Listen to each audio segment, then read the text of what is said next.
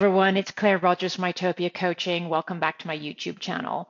So last week I talked about where a negative mindset comes from, and I focused on four areas. And those areas are this. Number one, we focus on the past.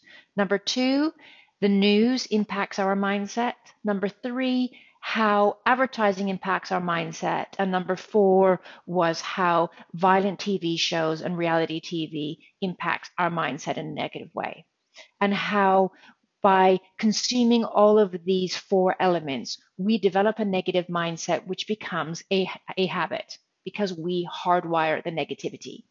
This week, I want to talk about how we break that habit, how we break that pattern and change our mindset from negativity to that of positivity and empowerment. So, first up, I want to talk about how thinking about the past is not helping us create our future. And I want to talk about how our thoughts create our reality.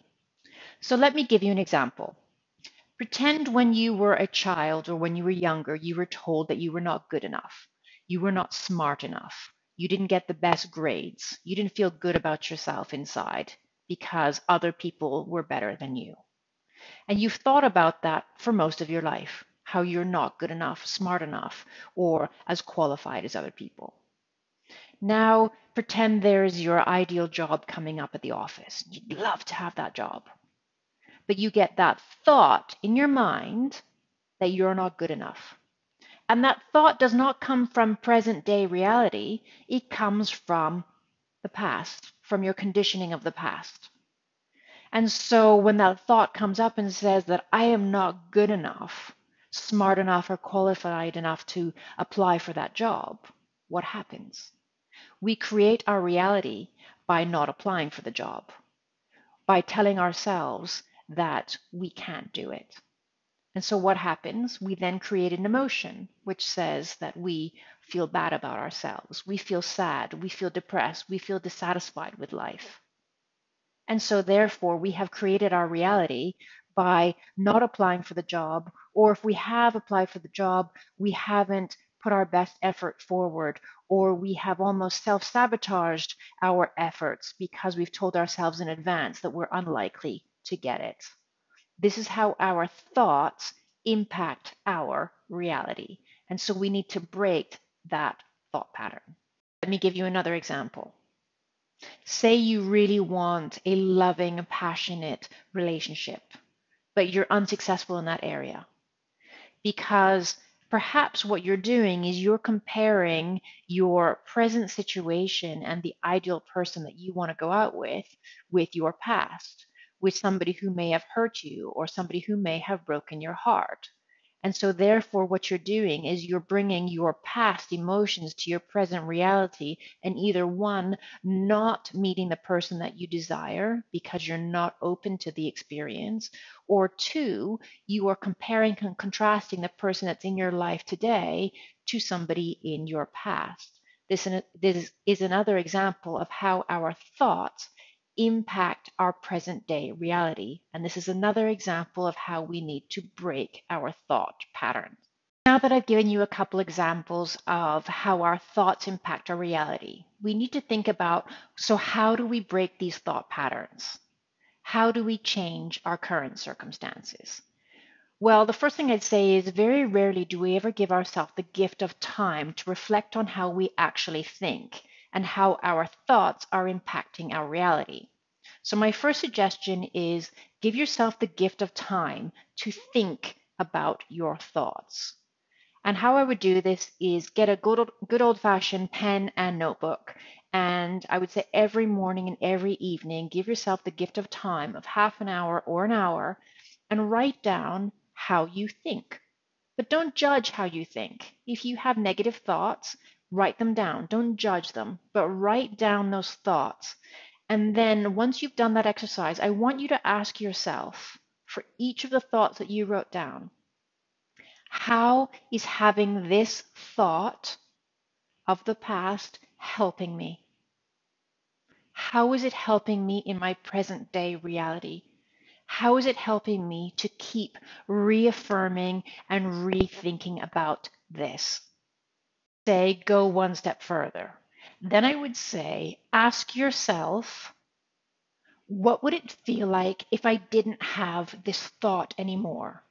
And what would my reality be if I didn't have this thought? So let's go back to the examples I gave and let's use this in practical terms. So the first example was feeling, I don't feel good enough to apply for this job. How is it helping me having this thought?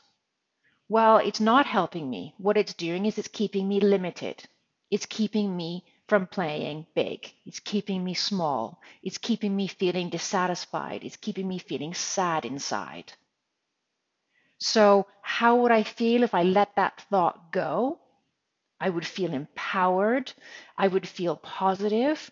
I would feel invincible. I would feel like I could apply for that job and I could deserve that job. So let's go back to the other example of not having the relationship that you desire because you're focused on the pain of the past. So let's map that out again. So I can't have a successful relationship today because so and so in the past hurt me. How is that helping me having that thought and keep thinking about that thought? It's not helping me. But what it's doing is it's keeping me limited. It's keeping me from pursuing a healthy, successful relationship. It's keeping me feeling scared. It's keeping me feeling protective of myself. How would it feel if I didn't have this thought anymore? Well, I would feel empowered. I'd feel good about myself. I'd feel positive. I'd feel like I was worthy and deserving of a healthy, meaningful relationship. So that's an example of how to do that exercise. See what I did there is that I, one, helped you create an awareness of how you think. And two, I helped you understand how you can reframe your thoughts from being that of negative to that of empowerment. So, as I say, you need to give yourself the gift of time to understand how you think and then reframe it in your mind to be that of empowerment. Now, that's not going to happen overnight. Your ego's not going to want you to let go of the past or previous thoughts you've had. Why? Because it's formed part of your identity. And who will you be without that identity? It's going to fight you. It's going to say it doesn't want you to change. But I actively encourage you to every day conduct this exercise every morning and every evening and do it for at least two or three months. And the reason why I say that is it takes approximately 66 days to change a habit. So if you can do that every day for 66 days or longer, or ideally make it a lifestyle that you do throughout your life, you will change your mindset from that of negativity to that of positivity. Now, the next thing I want to say is please cut out the news, negative TV shows, violent TV shows, reality TV, and really minimize the exposure you have to advertising because this does impact your mindset. And if you're serious about changing your mindset, then what you need to do is you need to become aware of the negativity that is out there that is impacting you. And you need to say, no, I am not putting that poison in my mind anymore. I deserve better. Now, if you implement the suggestions that I have just made to you, you are going to find that your mindset definitely does change from that of negativity to that of positivity. However, you are going to notice this one thing, and that's this you may find that you become lonely. You may find that you don't have as much in common with your friends anymore or with other people in society. Why is that? Because a lot of people will not be doing the deep work themselves to change their mindset. They will still be attached to the negative media that they're consuming. And so you may find yourself feeling lonely, that you are trying to change yourself in a positive way, whereas other people are staying the same what I would say is if you find yourself in that situation, then take comfort because there's a lot of people that are changing their lives.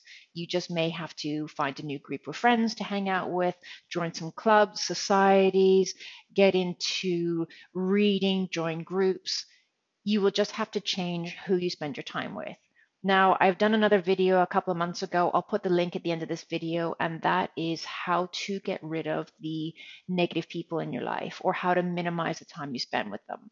So you will find that as you become more and more positive, you'll be less and less inclined to want to spend time who are with people who are negative, with what I call energy vampires. And that's going to be difficult to actually change your group of friends overnight. So as I say, I'll put the link to that video at the end of this one so that you can rewatch that one if you haven't already seen it on how you minimize or reduce your exposure to people who are negative. So to recap, to change your mindset from that of negativity to positivity, you're going to give yourself the gift of time to think about how you think. And you're going to put that in a journal and you're going to ask yourself, how is it helping me thinking this way? And how can it, I change my thinking to be that of empowerment? You're also going to get rid of all the negative exposure in your life, whether that be the news, reality TV, advertising, violent TV shows. You are going to reduce, minimize, or get rid of it altogether. And you're also going to make sure that you reduce the amount of time you spend with negative people.